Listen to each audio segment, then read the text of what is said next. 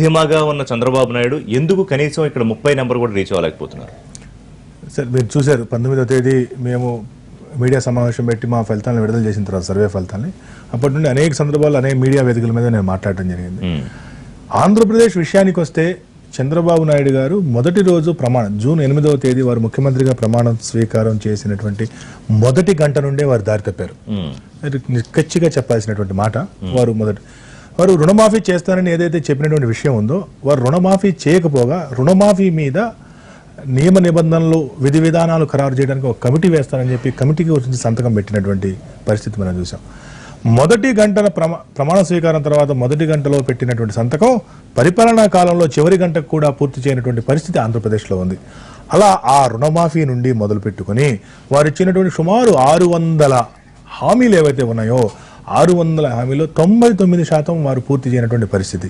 కేవలం ఆ చివరి మూడు నెలల్లో లేదా చివరి వంద రోజుల్లో ఎన్నికల్లో ఎన్నికలు వచ్చేస్తున్నాయి కాబట్టి మనం ఇప్పటికైనా సరే కొన్ని మనం టిక్ మార్క్ ప్రోగ్రామ్స్ అంటుంటాం సార్. జనరల్గా social sir my organization question is ఇంత ఎక్స్పీరియన్స్ ఉన్న నాయకుడు చంద్రబాబు నాయుడు రెండు సార్లు ముఖ్యమంత్రిగా చేశారు పదేళ్ళు ప్రతిపక్షంలో ఉన్నారు మూడోసారి ముఖ్యమంత్రిగా ఉన్నారు. ప్రజల నాడి ప్రజల ఆలోచన అవన్నీ ఆయన తెలియని కాదు. సీనియర్ లీడర్ అని చెప్తూ ఉన్నా ఋషి గారు, నేను ఆ పదం వాడింది. ఎక్కడ తప్పుడు అడిగేశారు అయితే సెఫాలజిస్ట్కి నేను వాడినటువంటి వాక్యం చాలా పెద్ద వాక్యం. ఆయన మొదటి గంటలోనే దారి తప్పాడు అన్నటువంటి వాక్యం ఎందుకు వాడానంటే ఆయన పూర్తిగా ఆయన పట్టు కోల్పోయాడు అసలు. మొదటి రోజు మొదటి గంట నుండే ప్రభుత్వం మీద పూర్తిగా పట్టు కోల్పోయి కనీసం క్షేత్రస్థాయిలో జరుగుతున్నటువంటి అనేక రకమైనటువంటి అవినీతి అరాచకాల మీద ఆయన కనీసం లేకుండా పోయింది. ఏది ప్రభావితం చేసిందా అదే ఆయన నమ్మినటువంటి సిద్ధాంతం ఏంటంటే ఈ ఎన్నికల్లో రెండు వేల పద్నాలుగులో మనం మనీ అండ్ మీడియా సహాయంతో గెలిచాము. కొద్దిమంది పొత్తుతో గెలిచాము.